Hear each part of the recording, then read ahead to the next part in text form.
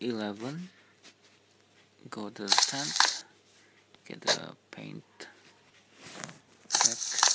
Tap the right side. Get the book.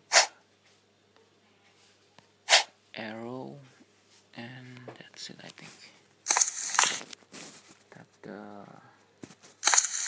ah the middle. Get the horse piece. Use the paint on the middle use the horse to match the picture here on the window? Memorize the position because you will need to arrange them. Okay. The red one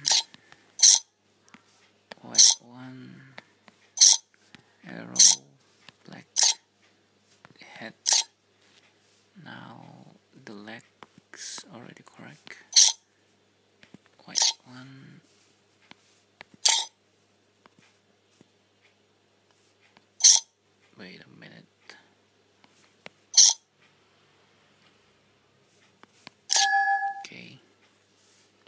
memorize the the item. This is side uh, scale sword and arrow. White red black and bluish. Tap the right side. Uh, tap the button on the wall. Get the glass and get the candle. Combine both item. Tap the tent put the book on the barrel and put the cup to melt down the candle. Now use the candle here. Pick it up.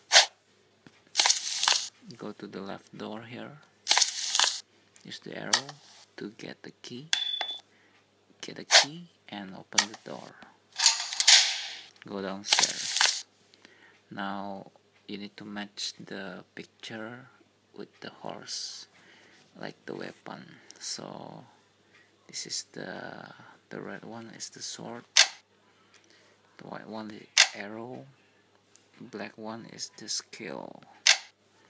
And last one is right use the item from the candle. And escape